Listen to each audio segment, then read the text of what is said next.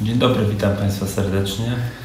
Chciałem Państwa poinformować, że udało nam się e, po długich i wyczerpujących negocjacjach e, stworzyć alternatywę do połączenia pomiędzy naszymi pięknymi sołectwami a miastem Międzyzdroje i miastem Świnoujście.